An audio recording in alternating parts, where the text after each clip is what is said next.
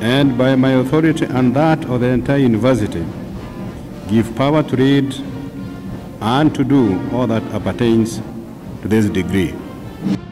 The Council, Senate, and Management of Dedan Kimathi University of Technology welcomes you to the 16th graduation ceremony on Friday, 26th April 2024 at the Freedom Hall, main campus, Nyeri.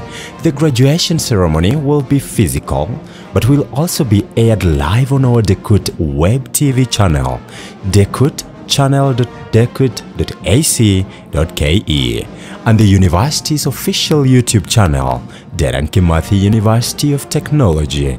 Join us as we celebrate our graduates for this great milestone. Congratulations, graduating class of 2024.